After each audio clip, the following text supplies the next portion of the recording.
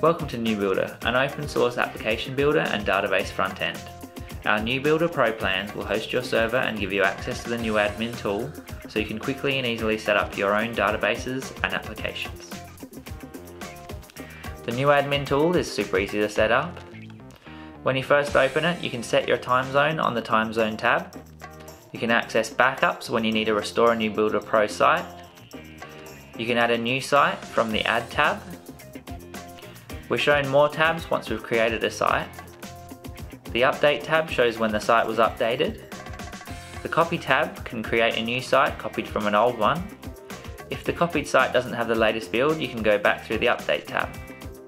Also, we can delete a site via the Delete tab.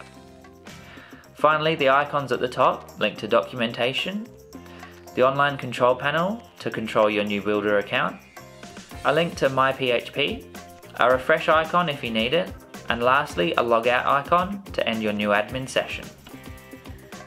Thanks for watching. To view more training videos, go to nubuilder.net and you can go to forums.nubuilder.com for further help and tips.